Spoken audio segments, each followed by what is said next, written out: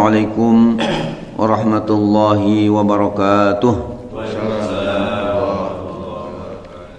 الحمد لله الحمد لله الذي أرسل رسوله بالهدى ودين الحق ليظهره على الدين كله ولو كره الكافرون ولو كره المشركون ولو كره المنافقون ربي أعوذك بك من همزات الشياطين وأعوذك ربي أن يحضرون Subhanaka la ilma lana illa ma 'allamtana innaka antal alimul hakim.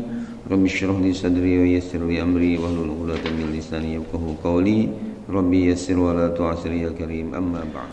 Hadirin yang dimuliakan Allah, kajian kita pada pada subuh kali ini Al-Kabiratus Salisatu dosa besar yang ketiga.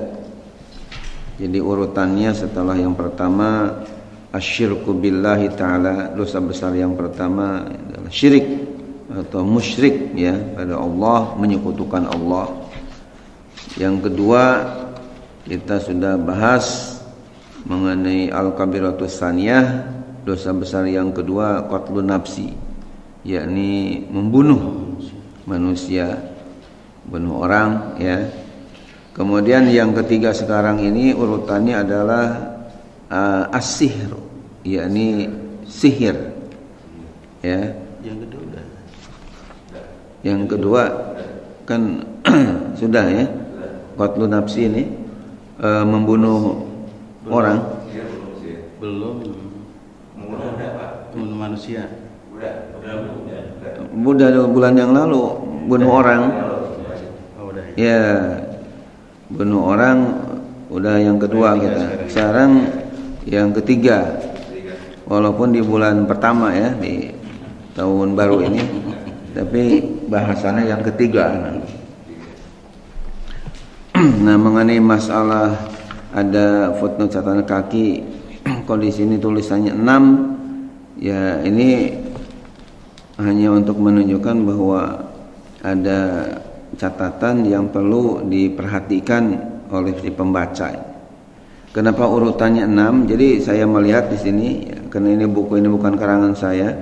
Jadi uh, dikarang oleh Imam Zahabi, kemudian ditahkik ya diedit oleh namanya ini Abis Sanabil uh, Romi bin Abdul Qadir Subroh ya nama nama pentahkiknya. Jadi uh, rupanya ada hal-hal yang perlu dijelaskan sehingga menggunakan footnote catatan kaki ya.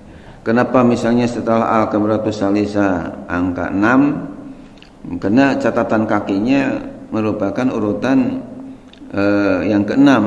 Karena ada di atas kan ada yang pertama, kedua, ketiga, keempat, kelima. Nah pas Al-Kabratus Salisa ada jadi ada yang perlu dijelaskan lagi sehingga pas yang keenam jadi enggak keliru tapi memang ya susunannya seperti ini. Nah yang keenam ini catatan kakinya sebagai informasi aja adalah karena yang ketiga ini menerangkan dosa besar mengenai sihir. Jadi diberikan penjelasan di bawahnya itu ya angka 6 coba lihat qala al-hafiz Ibnu Kasir telah berkata seorang yang sudah bergelar, bergelar Al-Hafiz yang bernama Ibnu Katsir. Al-Hafiz itu perlu diketahui ada Al-Hafiz fil Quran, ada Al-Hafiz fil hadis ya. Al-Hafiz sendiri alat terleknya adalah penghafal. Jadi kalau hafazo itu artinya telah menghafal ya. Sehingga eh, ada ungkapan dalam bahasa Arab itu man kataba qarra wa man hafazo parro sekali lagi ada ini bukan ayat Quran ini bukan hadis tapi istilahnya makolah atau kata-kata mutiara bahasa Arab. Man kataba korro e, wa man hafazo farro artinya apa? Artinya man kataba barang siapa yang menulis atau mencatat ilmu-ilmu itu dicatat misalnya ketika dia mendengarin ilmu dari seseorang ulama, seorang kiai, dia catat ilmu yang ia dengar itu. Korro maka akan tetap lengket insya Allah tidak akan hilang-hilang. Karena catatan ini merupakan pengikat ya daripada ilmu tadi. Di dalam bait syair yang lain dikatakan al ilmu saidun wal kitabatu qaiduh qayyid suyudaka bil hibalil. Ilmu itu bagaikan binatang buruan yang selalu dikejar-kejar supaya ditangkap. Uh, uh, wal kitabatu dan tulisan ini adalah merupakan uh, ikatannya. Qayyid suyudaka bil hibalil. Maka ikatlah binatang buruanmu dengan tali yang sangat kuat.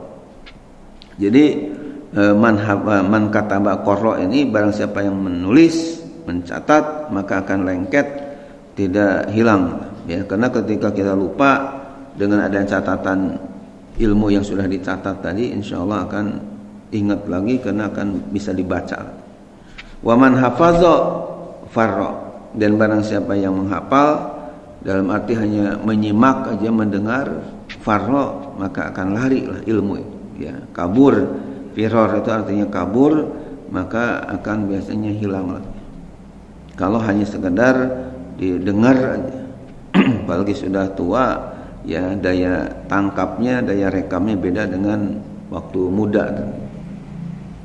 Sehingga ada ungkapan ta'alum pisigor kan naksi alal hajar wa ta'alum fil kibar kan naksi alal ma.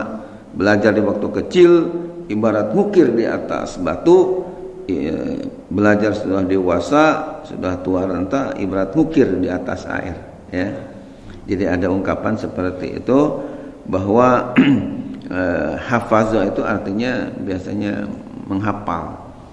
Makanya ada istilah tahfiz Al-Quran artinya menghafal Al-Quran. Dari kata hafazah nah di sini al-hafiz orang yang menghafal.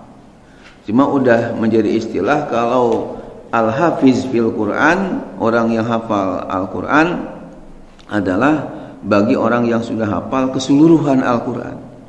Kalau misalnya Fatisna baru menghafalnya juz 30, yakni juz amma, itu belum dikatakan al-hafiz. Kenapa? Karena baru satu juz, juz 30. Tapi kalau orang sudah hafal 30 juz, nah ini baru dikatakan al-hafiz. Kalau perempuan istilahnya hafizoh. Ya, kalau laki-laki hafiz. Ahli tafsir eh, laki-laki mufassir, kalau perempuan mufassirah. Kalau ahli baca Quran yang merdu yang indah laki-laki namanya qori. Tapi kalau perempuan qoriah ya. Ada muannas di ujung. Tak tanisnya ya. Kemudian kaitan dengan di sini Al-Hafiz Ibnu Kasir. Jadi ini uh, tentu beliau mungkin selain Al-Hafiz fil Quran juga beliau ini terkenal Al-Hafiz fil hadis. Ya, karena selain beliau ini ahli dalam bidang tafsir Al-Quran juga ahli di bidang hadis. Cuma di dalam ilmu mustahil hadis itu dikemukakan kalau orang sudah bergelar bergerak al hafiz fil hadis uh, dikatakan man ahata ilmuhu bi, mi'ati alfi hadisin sanadan wa matnan. Artinya orang yang sudah bergelar al hafiz itu dalam ilmu hadis adalah orang yang sudah menguasai sudah hafal mi'ati alfi hadisin 100 ribu hadis.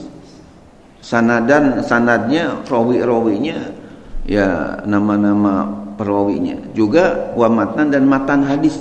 Redaksi hadisnya itu betul-betul di istilah hafal di istilah di kita itu di luar kepala ya di uh, hafal hafalnya bukan seribu dua ribu hadis tapi seratus ribu hadis Nah, jadi kalau yang sudah seratus ribu hadis hafalnya kayak Ibnu Hajar Al Asqalani, Imam Nawawi, Imam Asyuyuti. Nah, termasuk Imam Ibnu Kasir itu gelarnya Al-Hafiz. Jadi Al-Hafiz Ibnu Kasir berkata, "Wa qad istadalla biqoulihi walau annahum amanu wattaqau." Dan sungguh telah berdalil dengan firman Allah walau annahum amanu wattaqau seandainya mereka beriman dan bertakwa surah Al-Baqarah ayat 103 ya manzahaba orang yang telah berpendapat ila takfiris sahiri kepada e, mengkufurkan orang pelaku sihir. Jadi berdasarkan ayat Allah annahum amanu wa seandainya mereka beriman dan bertakwa. Berarti kata sebagian ulama orang yang melakukan perbuatan sihir itu tukang santet itu menurut e, sebagian ulama tadi takfir as-sahir berarti orang yang pelaku sihir itu dipandang kufur dia. Kufur itu artinya sudah keluar dari agama Islam. Bukan hanya dosa besar. Kalau dosa besar ini masih lumayan karena dia kalaupun masuk ke neraka ya berapa tahun sesuai dengan dosa ya besarnya itu Allah yang Maha tahu, tapi masih ada harapan nanti lama-lama setelah habis dosanya masuk surga. Tapi bedanya kalau sudah kufur itu sudah tidak ampun lagi, tidak ada uh, harapan untuk masuk surganya. Ini khalidina fiha kekal selama-lamanya. Itu uh, kama huwa riwayatun anil Imam Ahmad bin Hambal sebagaimana dia itu telah uh, ada sebuah riwayat dari Imam Ahmad bin Hambal atau pendiri madhab Hambali ya madhab itu kan ada empat yang paling populer itu imam namanya madhab Hanafi yang kedua madhab Maliki yang ketiga madhab Syafi'i. Yang keempat madhab Hambali. Nah, Hambali itu nisbah kepada Imam Ahmad bin Hambal. Nah jadi pendapat Ahmad bin Hambal di mana madhab ini adalah dijadikan madhab resmi di Arab Saudi ya. Jadi Arab Saudi itu baik di Mekah maupun di Madinah Makanya beda dengan di kita dalam bacaan. Misalnya kalau kita madhab syafi'i kan baca fatihah dalam surat jahar maghrib isya subuh basmalahnya itu nyaring Bismillahirrahmanirrahim Alhamdulillahirabbil alamin itu kalau kita di Masjidil Haram atau Masjid Nabawi eh, bacaan basmalahnya sir Bismillahirrahmanirrahim Alhamdulillahi Rabbil Alamin. Jadi yang nyaring awal tuh Alhamdulillah. Ya. Itu madhab hambali seperti dan kunut subuhnya juga enggak ada di madhab hambali. Jadi beda.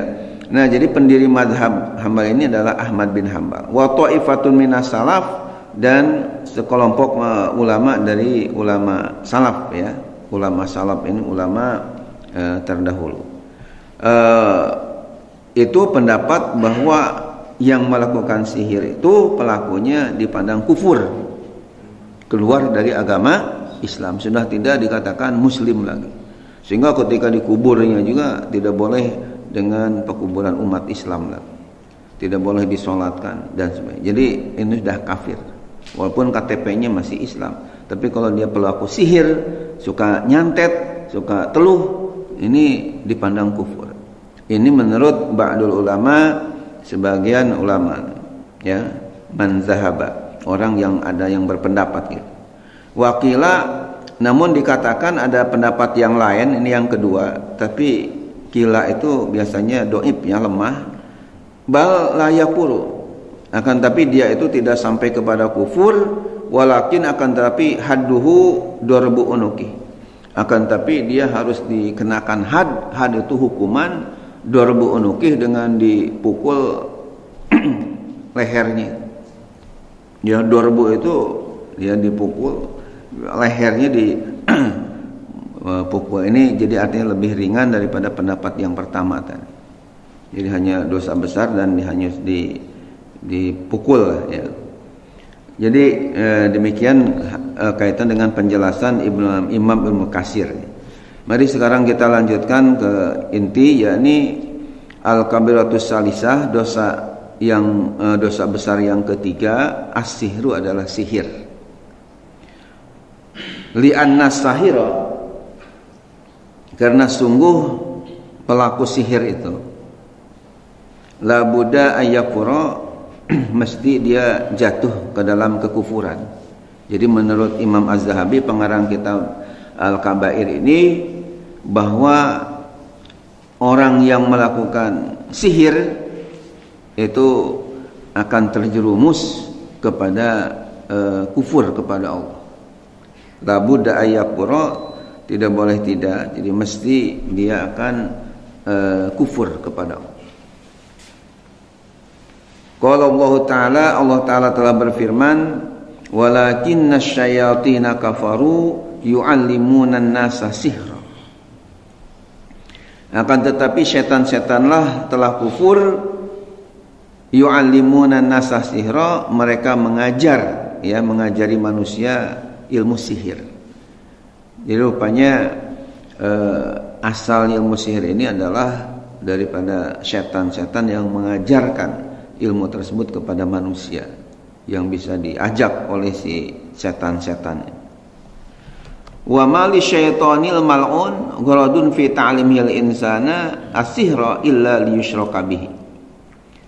Artinya wa mali dan tiadalah bagi setan alman al mal'uni yang dilaknat. Gharadun tujuan fi ta'limil insan dalam mengajarkannya ilmu sihir kepada manusia as-sihra yakni ilmu sihir tadi illa liyusyraka kecuali untuk berserikat dengannya.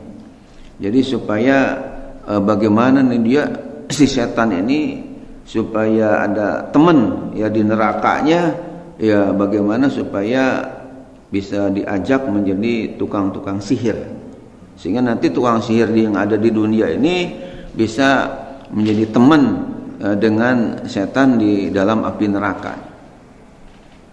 Ya, ingat bahwa setan ini adalah musuh bagi manusia dan si setan ini berusaha untuk istilahnya menggoda umat manusia untuk berbuat hal-hal yang tidak baik termasuk si ya. Di dalam Al-Qur'an surah Fatir ayat 6 Allah berfirman inna syaitana lakum aduwwun fattakhidhuhu aduwwa. Innama yad'u hizbahu liyakunu min ashabis sa'ir. Ya ada dalam Al-Qur'an surat apa? Surat Fatir ayat 6 jadi inna syaitana lakum aduun sungguh setan bagi kalian adalah musuh. Fattahiduhu aduwa hendaklah oleh kalian dijadikan dia sebagai musuh. Innama yad'u hizbahu liyakunu min ashabis sa'ir. Sungguh dia setan ini mengajak-ngajak kepada ya kelompoknya kepada orang yang bisa diajak. Supaya apa? Supaya ada mereka semua min ashabis ya dari penghuni api-api api neraka yang amat panas. Jadi supaya punya teman lah di api nerakanya ini akhirnya manusia diajak. Termasuk mengajak supaya menjadi tukang-tukang santet. Nah ini semuanya adalah ajakan si setan. Wa qala Allah taala an Harut wa Marut. Dan Allah Subhanahu wa taala berfirman berkenaan dengan uh, Harut dan Marut. Wa ma yu'allimani min ahadin dan tiadalah keduanya mengajarkan seorang pun hatta yakula sehingga keduanya berkata innama nahnu fitnatun fala takfur. Sungguh hanyalah kami ini sebagai ujian. Ya fala takfur maka janganlah kamu kufur. Fa yata'alamuna minhuma Lalu mereka belajar minhuma dari keduanya, keduanya dari Harut dan Marut, ma yufarriquna bihi bainal mar'i wa zawji. Sesuatu yang dapat memisahkan bihi dengan ilmu sihir tadi itu, bainal mar'i wa zawji antara seseorang dengan pasangannya. Jadi biasanya si setan ini dengan ilmu sihir itu bisa saling benci antara suami dengan istri sehingga bagaimana supaya berpisah ya maka tidak heran kalau banyak perceraian-perceraian yang tadinya rukun yang tadinya begitu harmonis gara-gara masalah sepele aja akhirnya menjadi marah akhirnya benci timbul tidak suka akhirnya terjadi perceraian. Padahal perceraian itu dalam hadis abghadul halal ilallah at-talaq.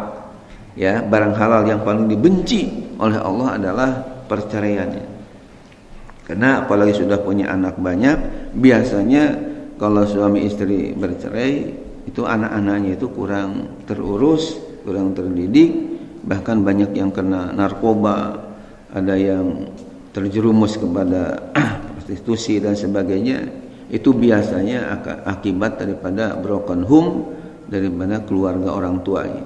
Karena anak-anaknya tidak diawasi, kurang kontrol, akhirnya punya teman yang tidak baik. Itu jadi banyak banyak negatifnya lah. Nah ini biasanya si setan inilah e, melalui tukang sihir bagaimana supaya e, membenci antara si suami kepada istri, istri juga menjadi benci tidak suka sama si suaminya itu banyak artinya kejadian di ya tengah-tengah masyarakat bahkan ketika saya eh, ada MTQ di tingkat provinsi itu ada cerita ya dengan teman itu bahwa dia punya istri dua ya. Karena dia cerita kenapa nah, katanya punya istri dua. Sebenarnya enggak ada niatan punya istri dua.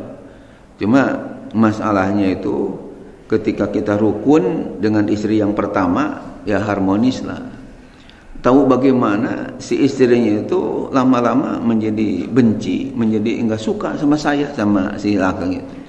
Ya pokoknya tidak mau melayani lah. Jadi e, wajahnya itu kayaknya kecut aja. Malamnya tidak bisa melayani makannya dan sebagainya. E, jadi kayak penyakitan lah gitu. Artinya dia sendiri aneh. Nah kemudian karena udah bertahun-tahun seperti itu si si istrinya itu katanya tidak melayani saya kan saya sebagai suami kan orang normal ya tentu kan inginnya punya istri yang baik. Tapi kayaknya benci aja. Jadi kalau lihat itu punya nggak suka aja.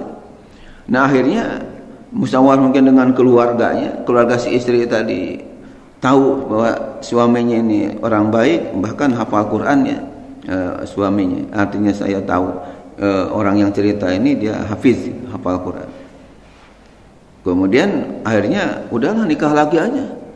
Eh, dan ketika nikah lagi sama yang lain itu uh, sama yang yang satu lagi dia nggak apa-apa gitu. Artinya kena benci tadi ya dipersilahkan bahkan tidak didatangi juga kayak uh, diam-diam aja gitu kena benci gitu. akhirnya ceritanya nikah lagi. Bahkan sampai sudah punya anak dengan istri yang kedua itu kan.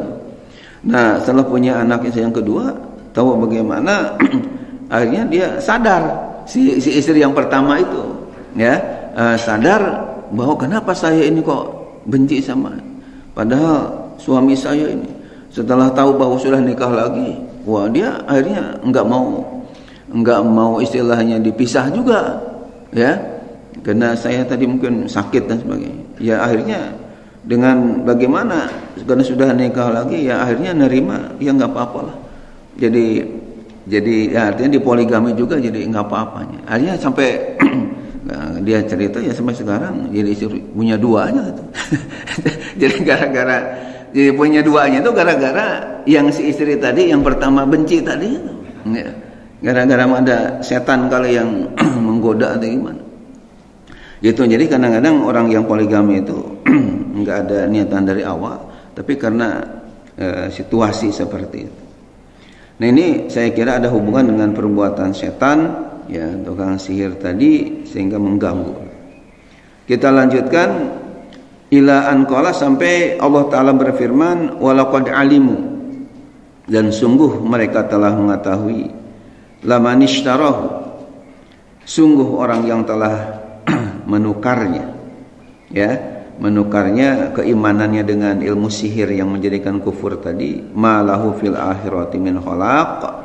Tidak ada baginya fil akhirati di akhirat min khalaq daripada bagian ya bagian untuk masuk surganya pada Allah ya. E, farunia dari Allah. Jadi artinya orang yang keimanannya ditukar dengan kekufuran gara-gara belajar sihir atau melakukan ilmu sihir tadi di akhiratnya tidak punya bagian apa-apa dalam arti dia sulit untuk masuk surganya Allah Subhanahu wa taala. Nauzubillah min al ayat sampai akhirnya ya, ayat. Fataro ya, ini komentar ini tadi kan ayat Quran. Sekarang komentar pengarang Al-Kabair. Fataro maka kamu melihat Anda melihat khalqan kasiran minad dolal. Jadi banyak makhluk yang e, tersesat. Yadkhuluna fi sihri.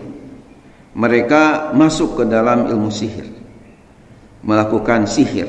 Wa yazunnunahu haruman pakot dan mereka mengira bahwa itu adalah cuman haram saja. Jadi banyak orang yang mengira ketika melakukan ilmu sihir itu ah, itu cuman haram aja hanya berdosa tidak sampai kufur.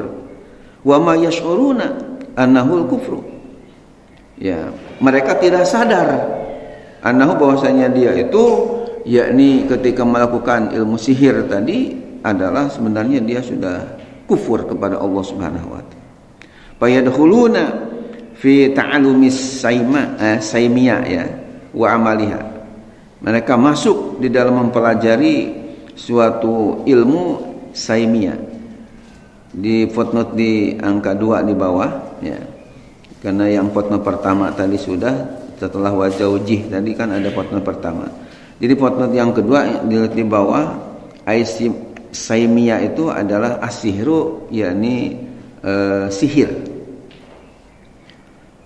Wahasiluhu kesimpulannya itu ihdasun uh, masalatun khayaliyah itu hanya sekedar hayalan-hayalan belak la wujudal hafil pada dasarnya tidak ada wujud sama sekali. Jadi hanya hayalan-hayalan belaka ya.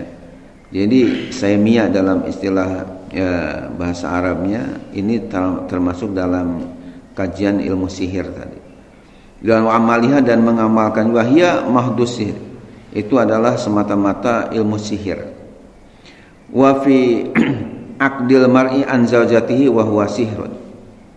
Dan ikatan-ikatan ya seseorang yang ada hubungan dengan masalah pasangannya kemudian ada ikatan buhul-buhul sesuatu uh, supaya orang ini benci antara pasangan yang tadinya harmonis itu juga termasuk dalam kategori sihir. Jadi ada semacam buhul-buhul tertentu ya. Wa fi mahabbati zawj limiratihi wa fi bugdiha wa bugdihi demikian juga bagaimana supaya ada istilahnya mahabbah. Mahabbah itu supaya bikin cinta atau istilahnya ilmu pelet ya. Jadi ada ilmu pelet itu jadi kan buat ada ada kasihannya pak pengasihan ya. Uh, seorang eh, laki-laki uh, terhadap seorang perempuan ya. Atau bugdiha itu membuat benci buat bugdihi ya bugdiha ini si perempuan benci istri benci. Bugdihi berarti laki-laki suaminya membenci. Wa asbahu zalika dan hal-hal yang serupa dengan itu bi kalimatin majhulatin dengan kalimat yang majhul itu yang tidak diketahui dengan jelas e, maknanya aksaruha syirkun wa dolalun aksaruha kebanyakannya syirkun adalah perbuatan syirik wa dolalun dan sesat.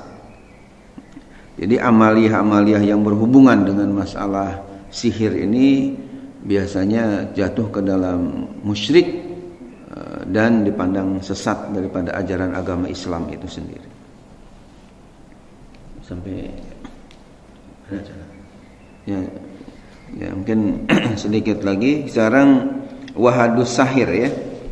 Wahadus sahiri dan adapun had.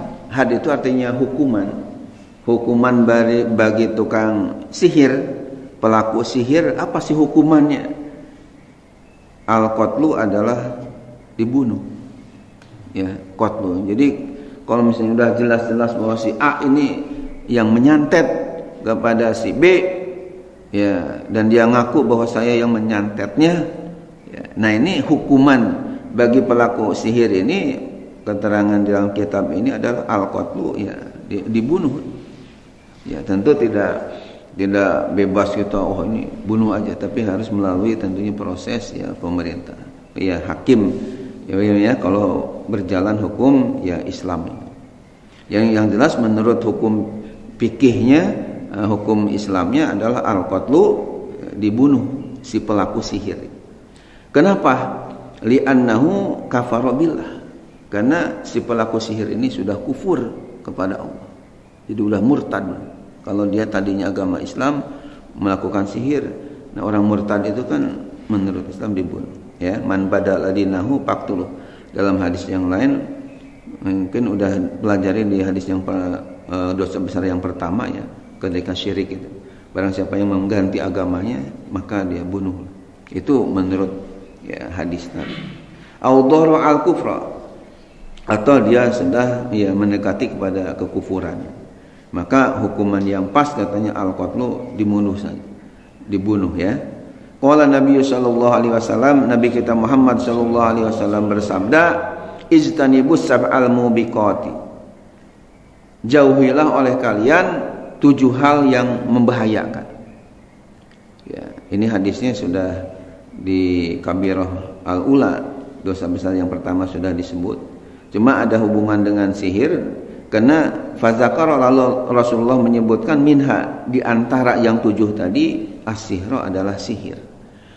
Jadi Rasulullah bersabda tujuh hal yang harus kalian hindari karena akan memberikan akan membahayakan dalam hidup kita.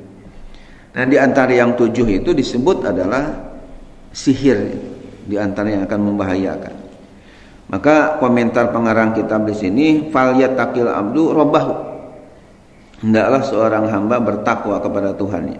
Wala yadhulu dan tidak masuk fima yakhsaru bihi dunya wal akhirah pada sesuatu yang akan merugikan ya dengannya baik di dunia maupun di akhirat.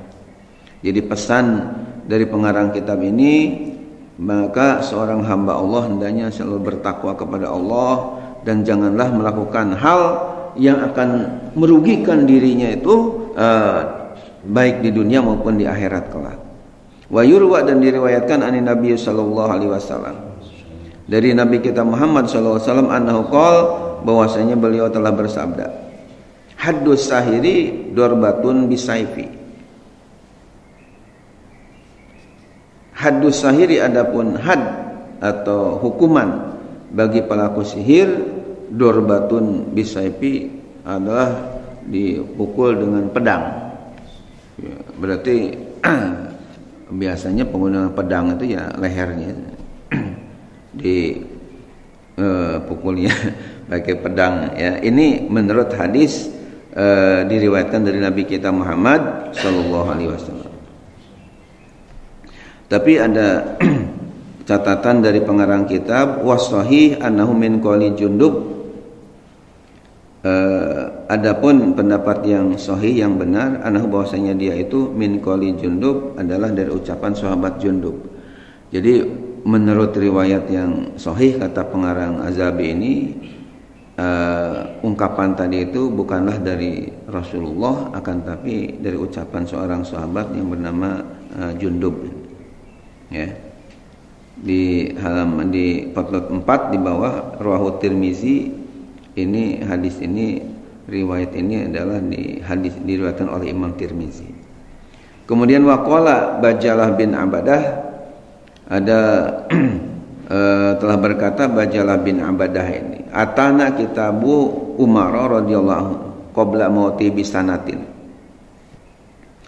Atana artinya telah datang kepada kami kitab Umar kitab ya kitab ini bisa diartikan tulisan yang bersumber dari sahabat Umar bin Khattab radhiyallahu anhu qabla mautihi bisanatin sebelum beliau meninggalnya sekitar satu tahun. Jadi sebelum uh, beliau meninggal, kira-kira satu tahun sebelum beliau meninggal dunia, rupanya Umar bin Khattab telah menulis uh, dengan ungkapan anik tulu kulla sahirin wa sahiratin. Jadi Umar bin Khattab sebagai khalifah punya instruksi anik tulu agar kalian membunuh kulla sahiratin setiap tukang sihir laki-laki wasahiratin dan tukang sihir perempuan. Jadi rupanya ada instruksi dari Umar bin Khattab menurut riwayat ini eh, angka 5 ya footnote di bawah ruahu Abu Dawud. Jadi hadis ini riwayat ini adalah eh, bersumber ya dari Abu Dawud wasohahul albani bahkan telah dinilai sahih riwayat ini oleh Imam Al Albani fi Sahih Sunan Abi Dawud dalam kitab Sahih Sunan Abi Dawud. Jadi Umar bin Khattab punya instruksi bahwa setiap tukang sihir baik laki-laki maupun perempuan hendaknya dibunuh saja ya. Itu eh, keterangan yang jelas di sini.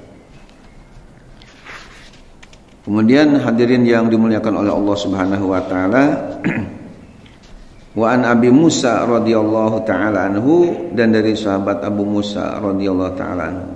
Anna Nabi sallallahu alaihi wasallam qol bahwasanya Nabi Muhammad sallallahu alaihi wasallam telah bersabda salah satun la yadkhulunal jannata kata Nabi ada tiga kelompok manusia yang tidak akan masuk surga. Jadi kayaknya untuk masuk surganya itu agak sulit ya. Apa yang tiga kelompok manusia yang tidak akan masuk surga menurut hadis ini? Yang pertama mudminu khomrin. Orang yang pecandu minum homer. Kalau cuman satu kali dua kali berhenti misalnya itu masih ada harapan masuk surga.